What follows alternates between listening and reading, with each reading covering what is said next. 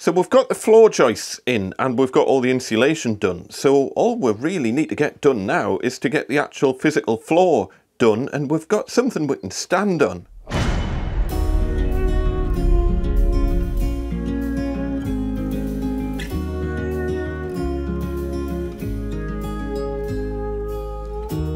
Hiya folks, welcome back to the show. I'm Andy Mack and we are in the middle of our very own self-build extension project.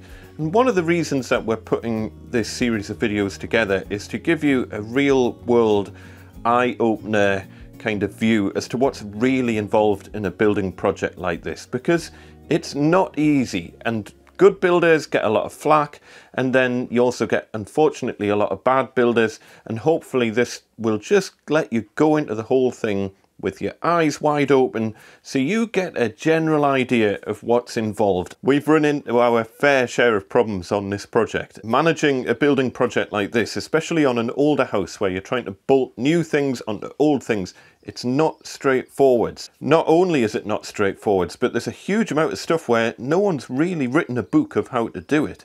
There's building regs and there's kind of uh, guidelines as to, in an ideal world, how you should do certain things.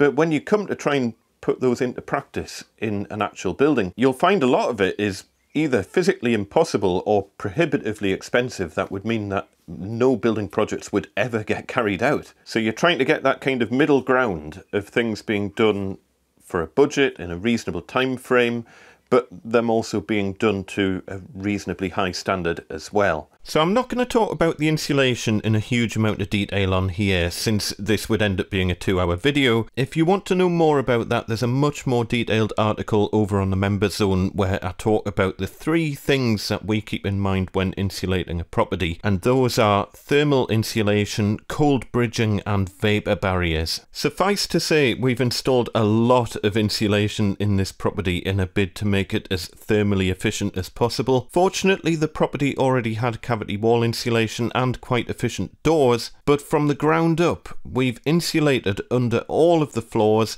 we've had brand new double glazing installed, we're insulating all the gaps around the new windows before fitting the final trims, we've insulated the deliberate cold bridging barrier in the garage wall, we've eliminated all possible cold bridging points through the use of continuous cavity wall insulation, we've installed vapor control layers everywhere that needs them, we've insulated under the stairs.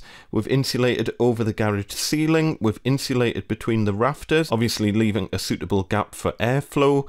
We've insulated over the rafters to eliminate any cold bridging points. We've fully sealed the final layer of insulation for added vapor control right up to the Velux windows in the kitchen. We're installing 300 millimeters of insulation in the loft, and we've reluctantly decided not to cut into our kitchen ceiling to fit spotlights. It took so long to insulate this properly we just couldn't bring ourselves to degrade it, and we'll live with pendant lights instead. The materials alone for all of this were well over 5 grand, and if you were looking to install all this insulation to an existing property, I reckon you'd be lucky to get change from 30 grand. But in our view, this sort of work is essential before you even think about upgrading central heating systems. We're nowhere near passive house territory and we have no idea how well this insulation is going to perform long term, but this graph shows our gas usage over the last six months or so. The pinky orange bars show the central heating, blue is hot water and the dotted line is the average external air temperature.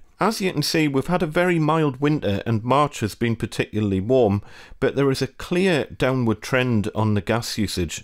We've used roughly half the amount of gas in March compared to December, and we haven't even finished yet.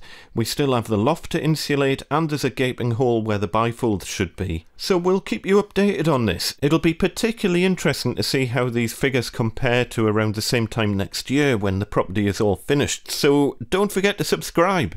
But just to show you a couple of little details here on the flooring side. So you will see here, we've got a little area where we just need something to pick up the floor at this corner here. And obviously the spacing of the joists didn't really work out to have a joist running all the way along here. So in the end, it was much, much easier to just run a little extra noggin here. It's only to take, it's not taking like any weight, and it's sitting on the wall plate at the side there anyway but we've just got that little tiny little mini joist there just to take the end of the board that's going to be sitting there because you can't just leave it dangling in midair.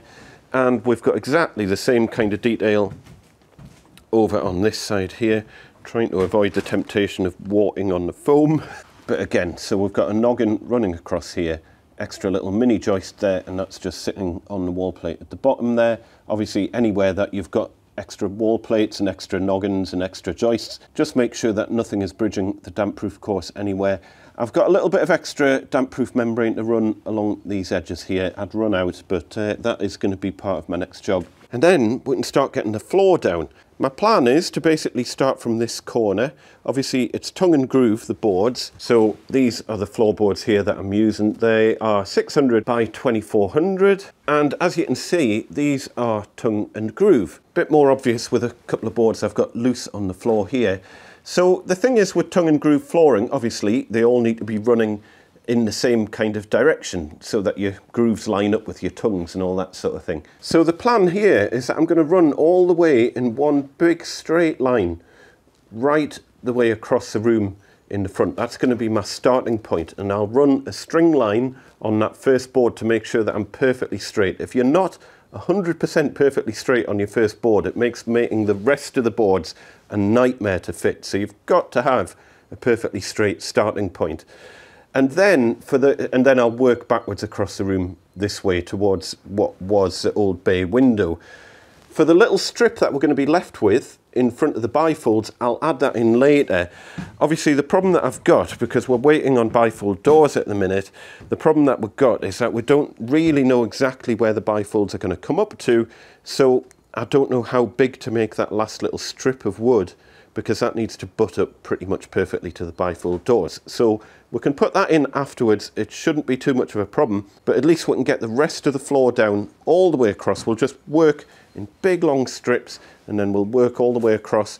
I'll have to stop around kind of where the insulation stops there because then we can't do this bit until we've done the knock through and we can't do the knock through until the bifold doors are in. Otherwise we're going to get a very drafty living room. We'll probably cover that in a separate video. These are the screws I'm going to be using, by the way. They are screw-tight screws. I'm using 5x50s. The great thing about these is that they have an unthreaded portion on the top end of the shank, and it means that you're going to get a much better grip between the boards and the joists. Let me know in the comments what your preferred floorboard screws are.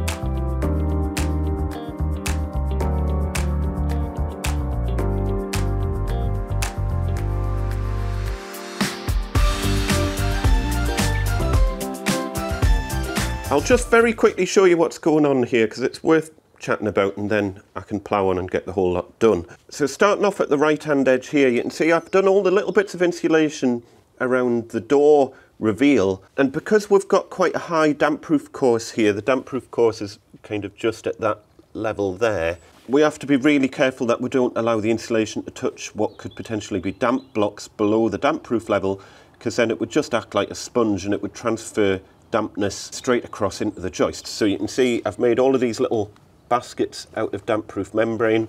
We've got damp-proof membrane all around these edges and I've also taken the time to add this little extra strip of angled damp-proof membrane. Again, this is mainly to stop drafts coming up around the edges of the floor and it also means that if this board happens to touch the wall, we're not going to get any dampness getting transferred into the actual wood. We are above damp proof course level with these blocks, so dampness shouldn't transfer across anyway, but you know, belt and braces and all that. Anyway, for the best will in the world, it's very unlikely that you're going to have a situation where your first board is going to fit perfectly without any cuts, and that certainly was the case here. So all I've done is I found the, the centre point of this joist here, measured back to the wall over here, and my first cut was just cutting the edge off this joist so that we've got a nice clean run all the way across from here comfortably on the joist at that end and we've got the joins on the board straddling the joist here and then same further up the room over there and then the next critical thing is that we're starting in a straight line. If you get your first row of boards in a perfectly straight line then everything else is easy because everything else just kind of butts up to it. But if you start with boards that are on the skew you're going to make life really, really awkward for yourself. So what I've done, we've got a string line here, uh, if you can just see. So the string line is right on the corner of that board and we are running all the way up the room, right to the very corner of this board here. And as I lay this first row of boards, I'm going to make sure they're in an absolutely perfect straight line, just following that string line. And then after that, I can get rid of the string fit everything up to these boards. As I say, this last little bit in front of the window we'll put in afterwards. We'll do that once the bifolds are in because I don't know how far out it needs to come. But other than that, once this first row's in, it's relatively straightforward from that point. It's one of those jobs where it's kind of really awkward to start with because you've got nowhere to work. I'm kind of dancing between the joists at the minute, trying not to fall through the insulation. And as we get further and further on, you end up having a bigger and bigger floor area that you can actually stand on. So it becomes more and more pleasant the further you get through the job.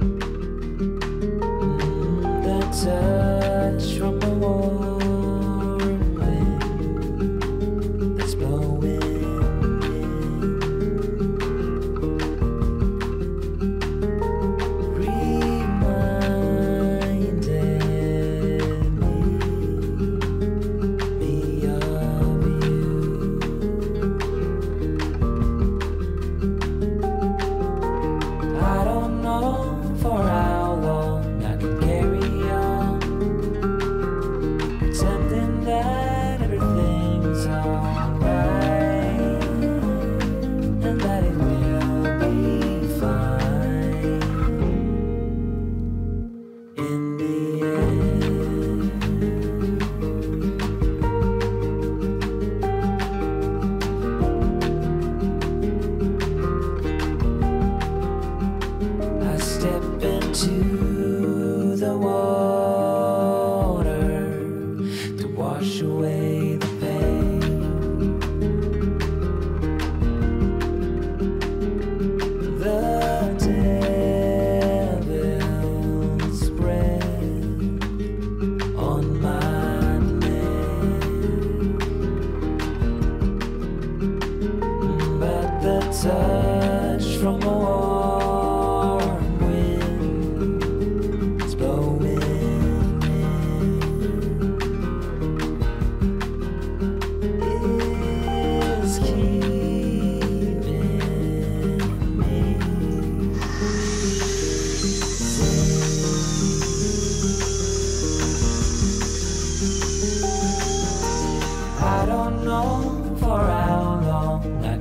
I know what a lot of you are probably thinking. Are we gluing the floor down? And in a commercial build at this stage, you would absolutely be gluing the floor down.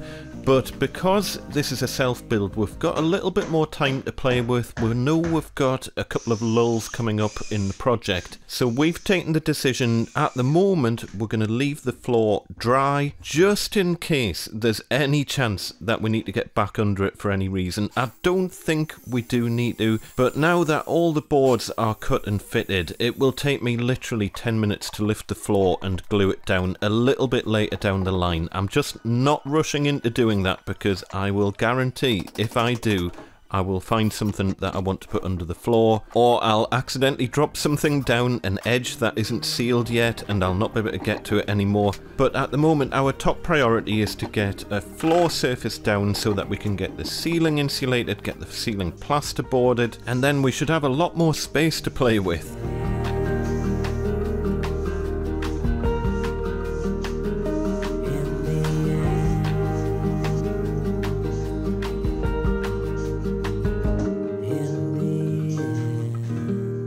Right, that's another job done. In the meantime, do you remember we had all of our wood and everything out here? And do you remember the skip pile? Well, it's nearly gone. I mean, to be honest, we've started creating a new skip pile already. We couldn't quite fit the last couple of barrows in. It was absolutely full to the brim. And we're going to be creating a lot more rubbish once we do the knock through anyway. So we're almost certainly going to need another skip. But it's looking considerably tidier out here now. Probably one of the next jobs is to sort out some of the fencing along here, get some trellis up and whatnot, and just get things tidied up. But uh, yeah, it's coming together. Remember, you can follow this whole project in much more detail over on selfbuildextension.co.uk. There's extra pricing information and more information about the plans over on the members zone, members.gosforthhandyman.com. But for now, take care, folks. Be nice to one another. I shall see you next time. Tatty bye.